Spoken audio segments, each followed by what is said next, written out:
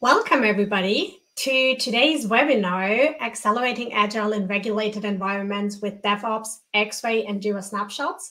We're very excited to have you all here already. And uh, yeah, we're looking forward to a very interesting input from our friends and customers, uh, NEC Oncoimmunity, who are with us today, and our partner X-Ray, who supported us in this webinar. So um, having said that, just a quick housekeeping before we start off.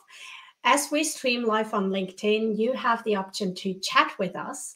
Um, we will hear from our friends about what they're doing. We will let them uh, talk through their presentation, but we'll have time afterwards to go into your questions. So feel free to post them whenever they come up to you, and we'll get into those um, at the end of the webinar and hope we'll get through all of them. So please feel invited to use the chat function and uh, we're looking forward to hearing from you. Other than that, we just want to make you aware at the beginning that uh, we want to be respectful with everybody in the room. So if you use the chat function, please keep to human decency. I think um, we're all um, capable of doing that. That should be it from my side. I will hand over now to our CEO from RadBee, Rina, who will introduce you to the topic and uh, show you a bit more about what this is going to be about today. So, Rina, hit it off. Hello, everyone. Thanks, Saskia. Thanks for everybody who is here. Um, I uh, uh, am frequently contacted by people in the pharmaceutical and medical technology industry who are very interested to go agile. Um, I'm active specifically in this area and I help regulated team become more agile. And, and that has become a very, very hot topic in recent years. And when people talk about agile, they frequently mention the need to do something that is called digital transformation, which is a, a buzzword in itself. Uh, and one of the purposes of this webinar today is to highlight the fact that agile and digital transformation cannot really achieve their promised goal if you don't add a third ingredient to that, and that is DevOps. So DevOps is not a very new trend, but in my opinion, it still does not did not catch as much attention as it should have in this world of agile digital transformation within regulated industries.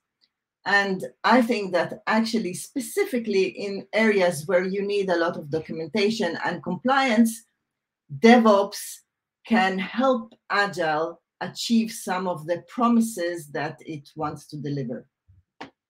So I'll explain you a little bit what I think is the promise of Agile and digital transformation. You want to achieve a situation where your organization works in a flow. Each person and each team has their own task, their own area of expertise, but they're all progressing together in some kind of a sync, fluent motion toward one common goal. And this goal for most of my customers is either delivering a new product, releasing a new project version, installing uh, something new in the IT system. And once everyone reaches this point, we can have the business benefit we all look forward to and iterate. So then we can go into this cycle and deliver another version and another version. But the idea is that we all converge together and achieve the business benefit we hoped for. But in regulated environment, often, sorry. So in this effort to do digital transformation, a lot of the first efforts are going into automatic tests. And the reason to go for automatic tests is obvious. The test budget is huge for regulated systems, and there is any incentive on the planet to try to economize on that. So people are investing a lot in building DevOps pipelines for automatic tests. And typically, in a normal situation, in a typical situation, the end of this pipeline is to generate a report. And a report is basically a file, JSON, XML, or what have you, that lies somewhere in your DevOps environment. The problem is that this file is not looking like a normal test report that an auditor will expect. It doesn't look anything like a release document or and is not connected to your traceability. So what people end up doing very often is that despite the fact that they have invested so much money in building the pipeline for an automatic test cycle, they go on and do a lot of manual tests as well. So these are the traditional manual verification tests. We all had them for ages, and we continue to do them to the big part of it. And in these tests, we produce all the documentations that we need and even more documentation and all these pile of documentation actually burdens us. And instead of having this ideal flow, we end up having a flow that looks like something that we all converged into a version, but we cannot release it until we don't create this document and this document and do some more tests and another paperwork.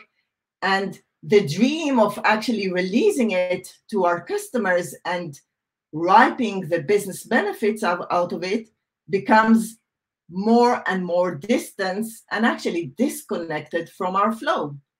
So what's the point of investing so much effort in creating agile flow with high velocity if at the end of this very high speed flow, you are basically stuck in a traffic jam.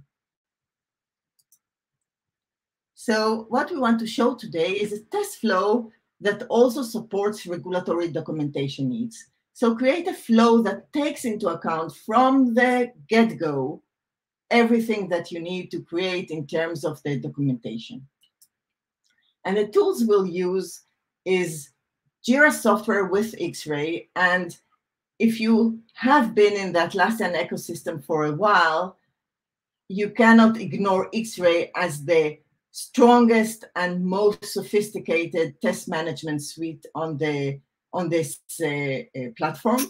I've been a, a, big supporter of X-Ray for many years, and it never failed me in regulatory context. And the release documentation will be used will be generated inside Confluence with the extension of Jira Snapshot and Jira Traceability extensions. These are basically the ones who generate automatically the test reports directly from Jira and X-Ray. So I'll now move to screen share. Okay, this is a real Confluence instance with an example of a test report, one that we can generate with the pipeline that we are going to share with you. So that's a, a normal Confluence page, but it has a very special table on it. This table is the table of tests and test execution that was automatically generated directly from Jira and X-Ray. In a similar way, we can also generate the full traceability surely if you keep all your functional requirements, user requirements, and test inside Jira, again, with Jira snapshots, you can generate the full traceability automatically within a few minutes inside Confluence. How we do that exactly, we'll show you at the very end after we have established the, uh, the fact or we have established the tools and the methods of how to get to the fact that all this information is already in Jira.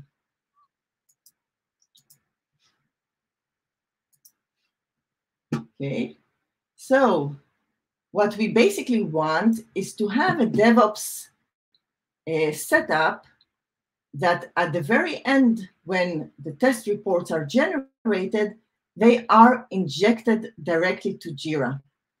And by doing that, we basically leverage and make the most out of the efforts that we put into our automatic tests. And in the same place, with Jira and X-Ray, whatever manual tests are left to be done, they can be done there and immediately from there taken into the reports. And of course, on top of uh, Atlassian X-Ray and Jira snapshots, you should involve in this pipeline all your other DevOps tool. And in this example that we will show, we have involved GitHub and PyTest just because that's the technological infrastructure that has been already in use. So at this stage, I'm going to hand over this to my friends from NEC Oncoimmunity. Uh, I've been working with Susanne for a while now, and uh, there in NEC Oncoimmunity, they are, they are really championing the transition of all their quality and compliance efforts into Atlassian. And Susanna has been taking it one process at a time. And in recent months, she decided to tackle the test management area. And she, jo- she was joined in that effort with frederick and he has done such a brilliant work in tackling this uh, technological challenge that I'm super happy to have them here and tell us about their experience. Uh, thank you. Thank you so much, Rina, and also for believing in our solution. Uh, that's really nice to hear. Um, we're from NEC Oncoimmunity. I'm a product manager and I'm joined by Frederic, our principal software engineer. Um, before I dig into, into why we wanted to go this step of automating our tests uh, and as well as the solution we have implemented, just wanted to give some background of our company and the NEC Immune Profiler product that we are uh, focusing on.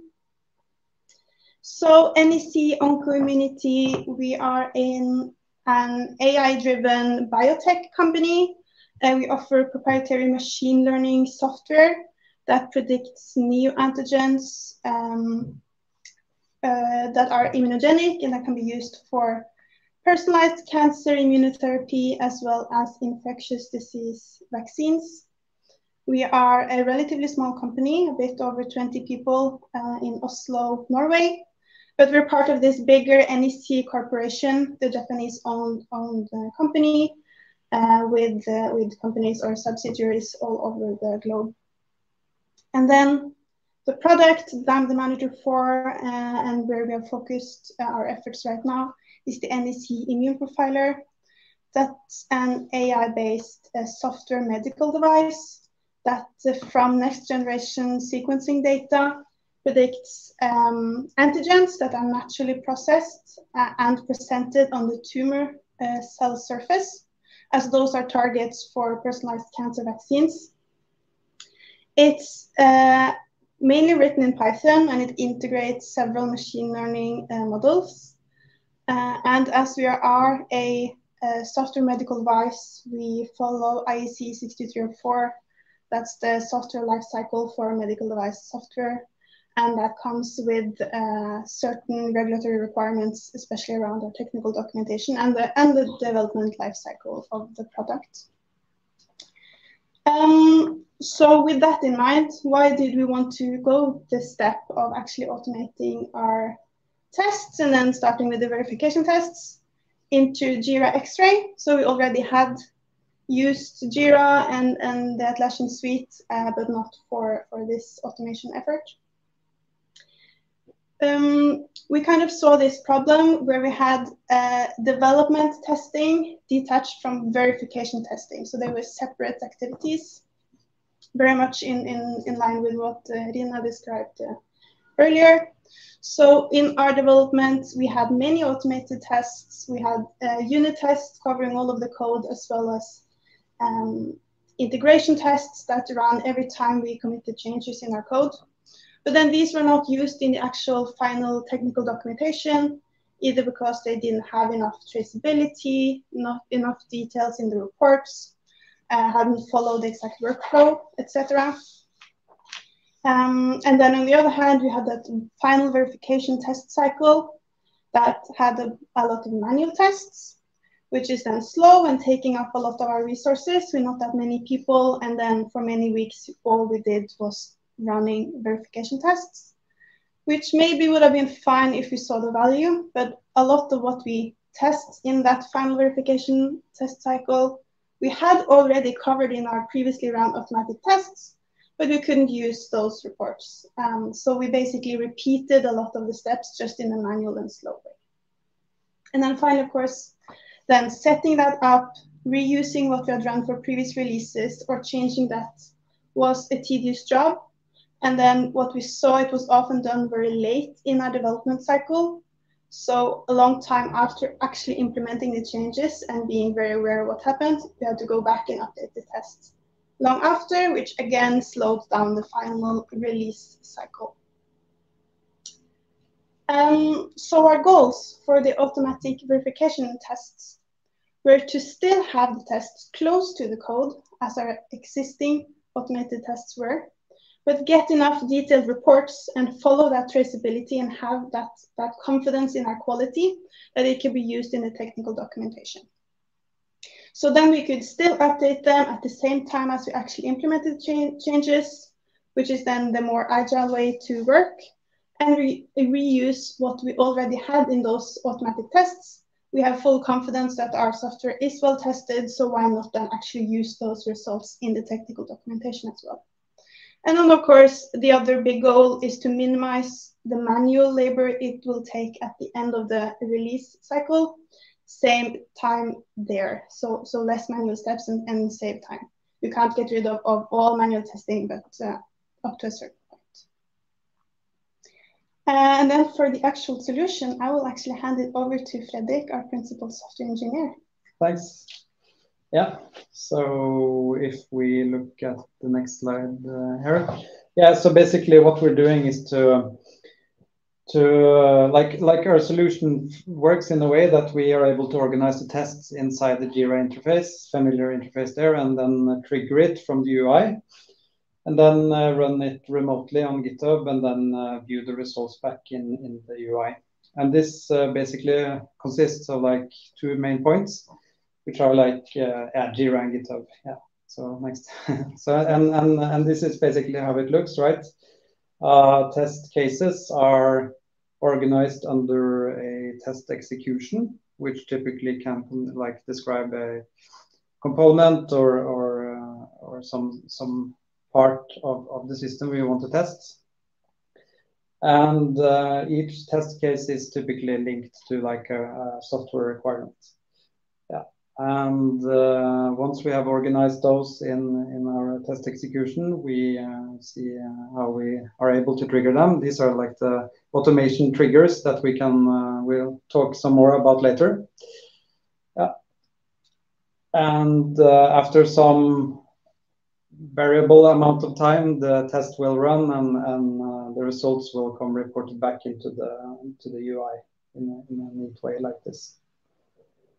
Mm. And for each uh, test that has been run, we are able to attach different types of evidence and also, yeah, for example, log output and yeah, standard out and or, or any errors. But also, like the actual test code that was run is also attached as, as evidence uh, that we get to see in this same test case in, inside Jira. Yeah, and uh, now to dive a little bit into how we actually achieve this. So first we'll look at the, um, automation aspect of it.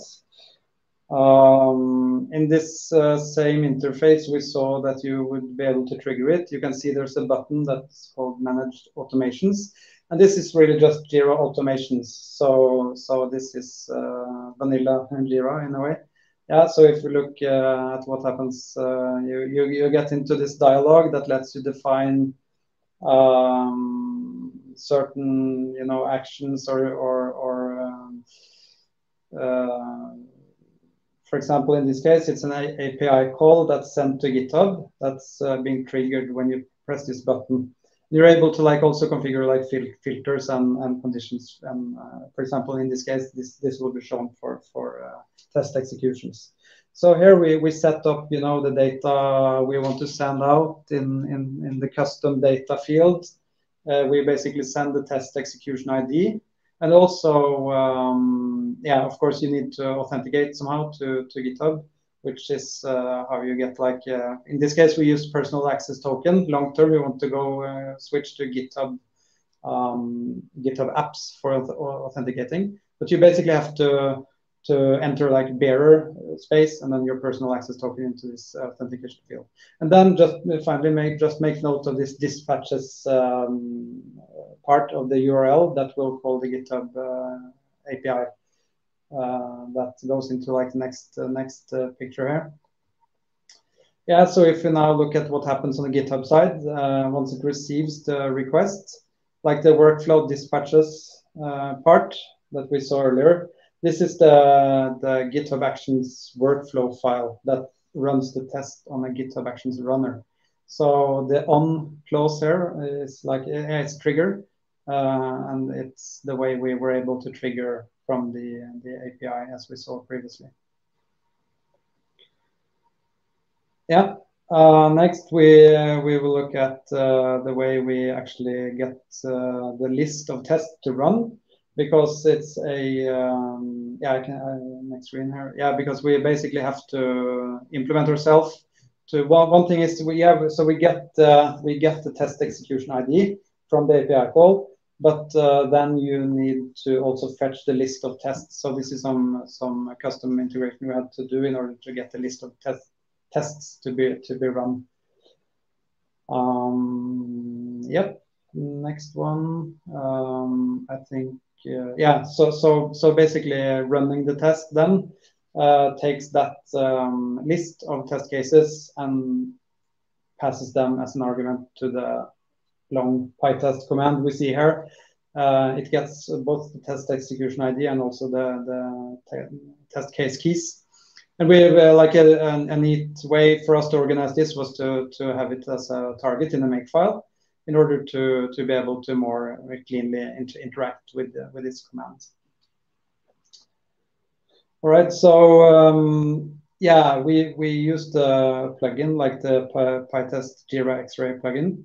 Uh, it takes away a lot of uh, you know com configuring like how the reports are being generated and, and also posting them to the to the X-Ray API we were uh, initially doing a lot of that ourselves, but uh, this plugin simply uh, makes a lot of it, takes a lot of it. yeah, it's it's basically for Python. It's basically, a, as far as I can see, like a clone of what's being already available for for Java. That's the official one, and uh, this Python version is is made by a, a third party. developer. But one thing I will just say that just notice the way that uh, we mark these tests so whenever we, for example, use the mark.xray Jira 1, then that test is associated with that Jira issue key.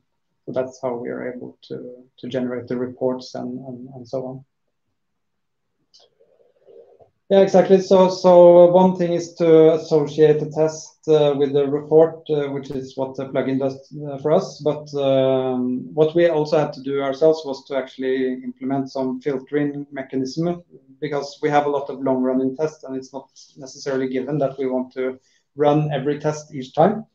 So, so uh, yeah, we basically had to override uh, a, a, a Python method here for uh, to add add the option and also implement a Python hook, PyTest uh, hook to basically filter the tests once once PyTest is running.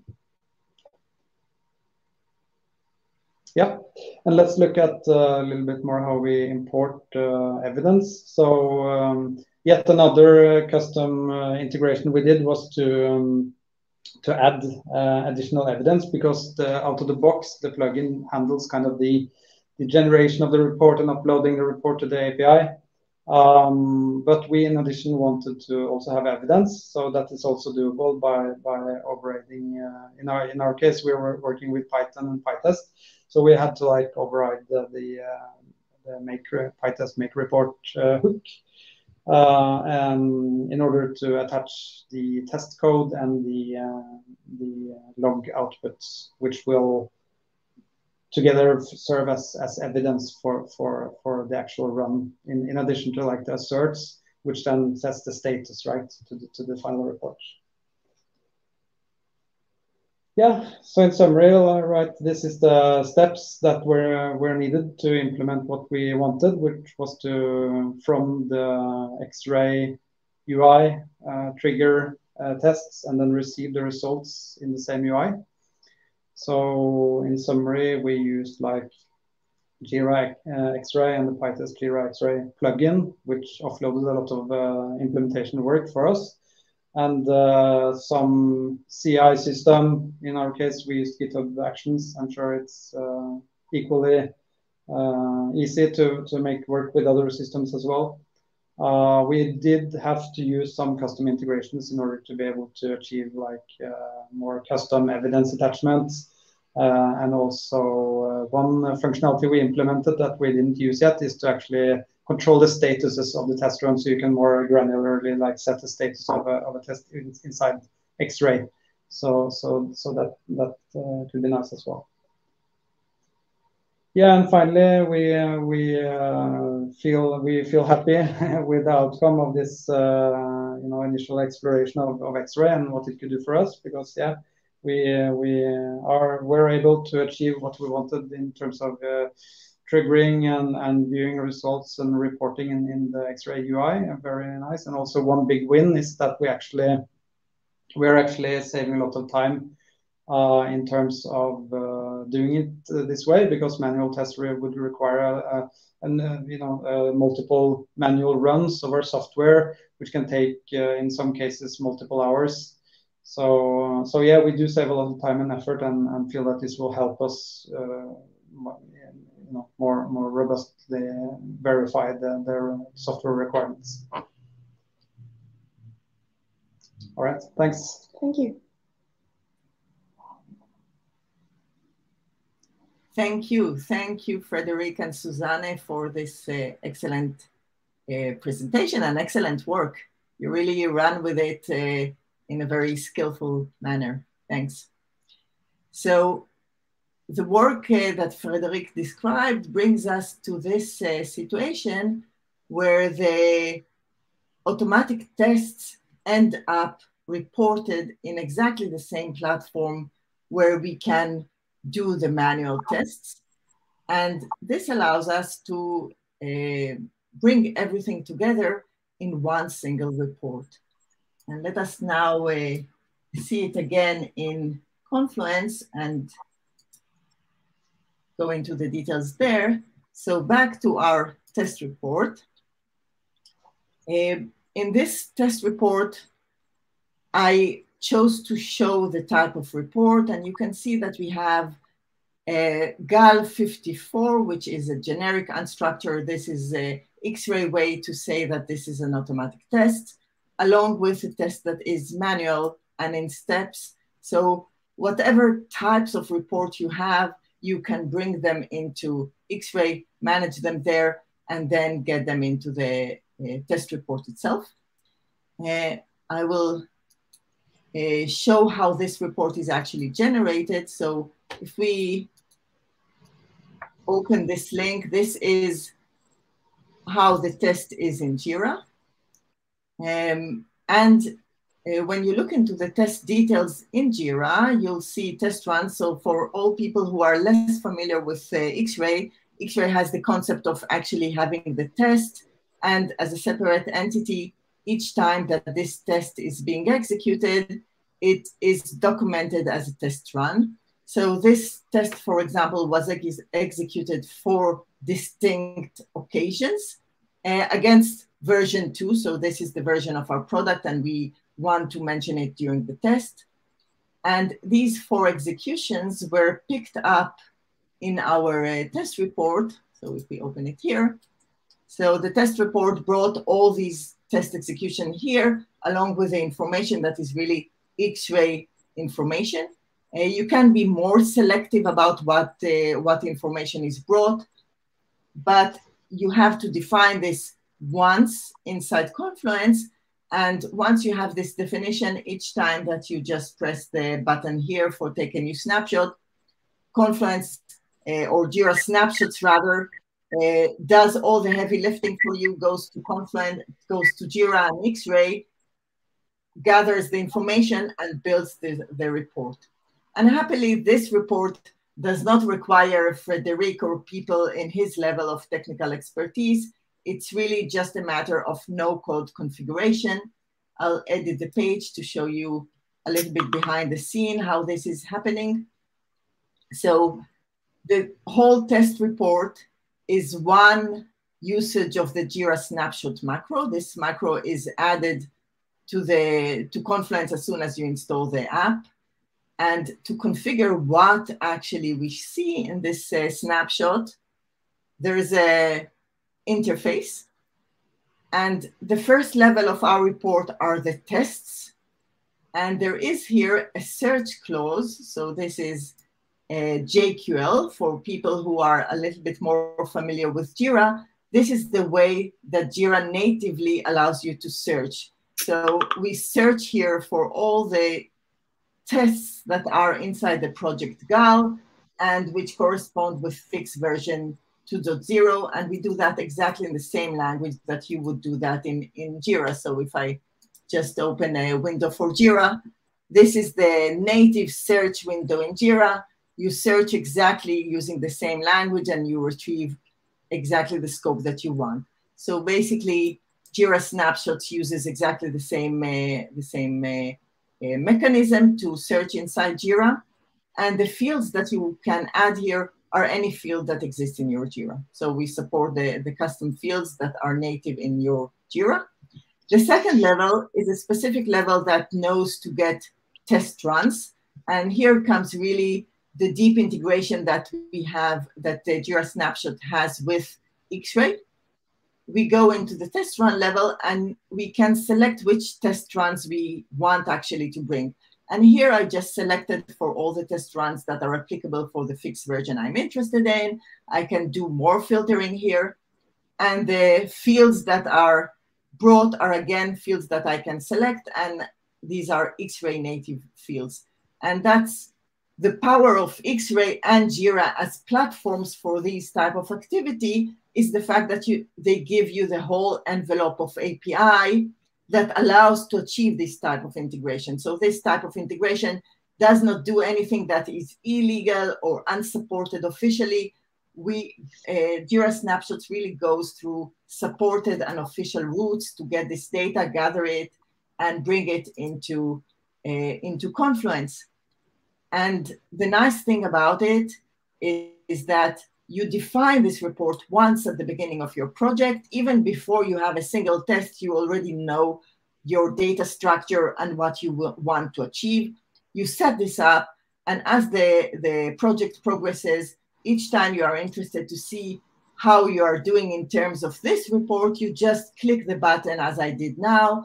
Um, something magic happens behind the scene. The data is retrieved here and presented and uh, you know exactly where you are in terms of documentation, and this is part of your built-in flow.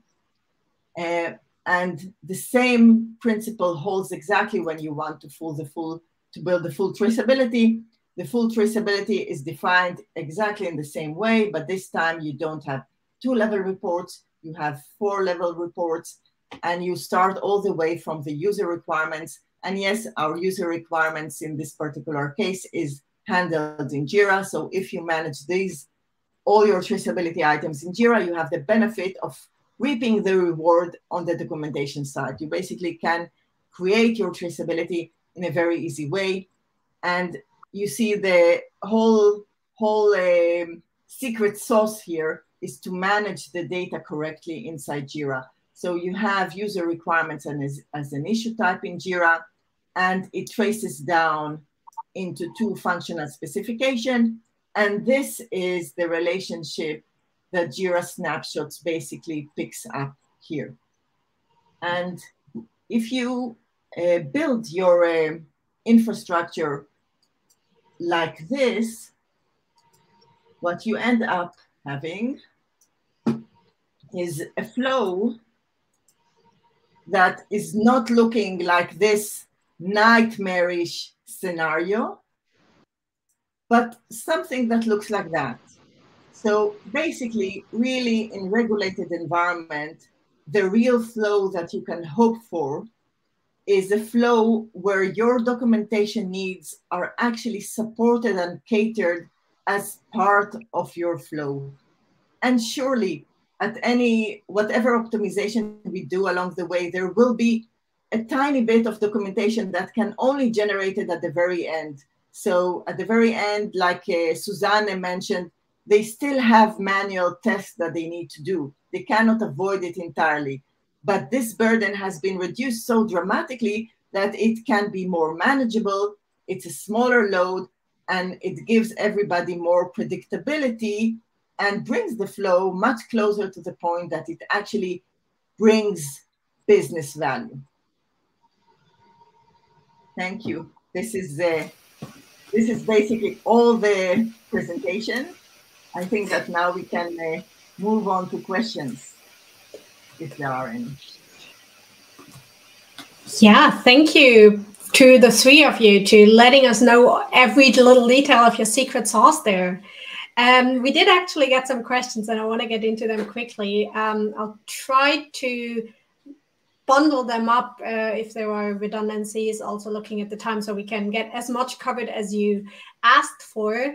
And uh, maybe first, uh, let's get into question that dealt with the test cases in Xray. We got questions uh, from the nature of, okay, how, how do you write those test cases? Do you write them for every unit or do you only do them for integration tests? Are they reusable for regression testing? How does all of that uh, work together? Maybe Frederick and Susanne, you can go into that. How does that work for you? Yeah, that that is a very good question. We've actually discussed that quite a lot. Um, we are starting out this this implementation now, so we are focusing on our verification tests. So those are the ones directly covering our requirements.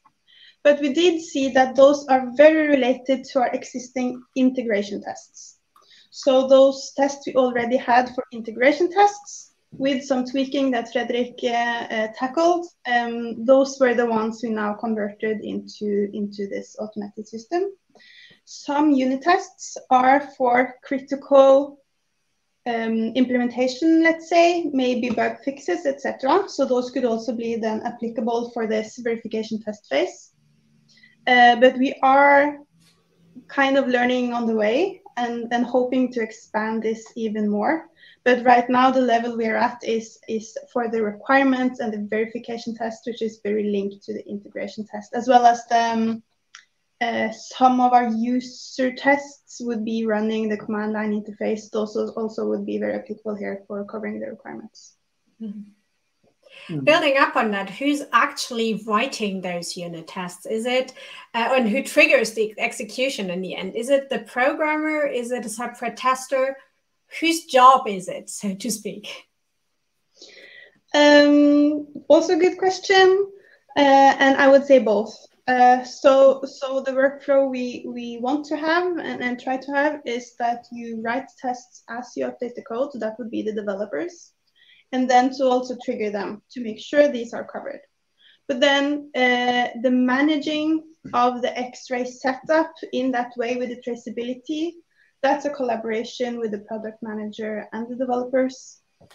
Uh, and then, you know, in the end, to make sure you have that traceability, if things are set up but actually not run on the latest version, etc., that would be one click from, in our case, me, without me needing um, domain knowledge about whichever component we're focusing those tests on. So, so I would say a collaboration. Um, and actually, this is then kind of helping compared to what we had before when the developers only focused on, on the tests in the code. And I was, I'm, I'm being a bit, a bit on point here, but then I was kind of stuck with the verification test, but not really knowing the code. Uh, so now those worlds are, are a lot closer. Uh, to answer from other other people's perspective, I see different approaches to that question. Uh, I would say an ideal situation would be that the developers develop the unit tests as part of the story, basically, but then that there is enough expertise in the team and capacity, and that often is uh, testers. So there are a lot of software testers nowadays that know how to write integration tests and automatic tests, etc. It's actually a skill that somehow grew in that community as well. Uh, but uh, but yes, Susanne Susanne's team is is rather small, so that's that's what she has, and, and she's making the most out of it, and that's good. Uh, but in larger team, we see a growing team of automatic test developers. Mm. Which leads me over to another question because we uh, have the comment of one uh, visitor saying, like, in terms of testing in a regulated environment, he can imagine three categories that come to his mind. First is manual system testing, second is automated system testing, and the third one is continuous integration testing. You quickly touched on it. His qu- question is the solution we just presented, we just talked about in the last half an hour does this also cover the automated and the continuous integration testing? What's your take on that? How can that work? Yeah, like our as as Susanne said, like uh, we well well we view this as a dif different process. So this is not unit testing, this is not integration testing, this is verification testing, right? And specifically, it's our shot at automating the verification tests that were done manually earlier. So, uh, but as Susanna said earlier, it's like, yeah, it, it would be really nice if we were able to actually reuse a lot of the, for example, integration tests for this purpose. But uh, in, in also in large part, we have like um, basically been running like uh, the command line commands from the Python, like from the test code that you would run as a manual tester. So it's like a, a, like a programmatic run of the system that we're testing and then assertions as you would in a normal test. But uh, but yeah, we, I, would say it's an automated verification test. Mm. Uh, the way I, I see this question and the presentation is that there are two orthogonal problems here. One problem is how to automate your tests. And that is a question of your product and the type of test that you want to run on your product, not in terms of automatic versus non-automatic, but really if you needed to test your product, how what is the best way to test it? Is it uh, through API? Is it through screen uh, sequences? Uh, and there are zillions of different technologies and the best one really depends on your product and what how how is the best way to test it. And then there is the other question of if you did invest in automatic tests and you have a platform to run these automatic tests how do you make sure that the output can then be used for documentation purposes? And that's what we showed today. So we we answered the second question we did not go into the technical details of what is the best way to test your specific device or your specific product. Yeah, and then, then as a final thing to add, one of the reasons why they can be difficult to marry, the continuous integration and the verification tests, uh, at least in our case, is that uh, for our verification testing, we want to use a real life uh, sized data set that covers all the cases that would happen uh, like naturally, while that's not really uh, the best approach for continuous integration as that can take several hours um, uh, and that would then slow down things. So our continuous integration is more, more of a smoke test with smaller data sets. And then the final verification, that's when we can use the bigger data sets to actually have that, that formal test of the code. But also this shows that they're very related. The same type of test can be used, but then, then the test case would be a bit differently. So I think, like Anna said, looking looking at how to best test your software, that's very different from from case to case. We got two questions about what are you uh, how do you make sure what you're doing is actually the right thing? And uh, one of those actually goes into the validation of your tool chain. A person uh, the person uh, referring to the iso norm 13485 did you also validate the, the tool chain in that regard? So I think that Susanne, uh, they will uh, correct me, but at the moment they have still not arrived to the stage that they need to validate. It's uh, it's still early days for them. Generally speaking, it can be validated. So if you are in a scenario, a GXP scenario or ISO 13485 scenario, as you mentioned, uh, you can validate it. And of course, you need to validate it as part of your tool validation. Great.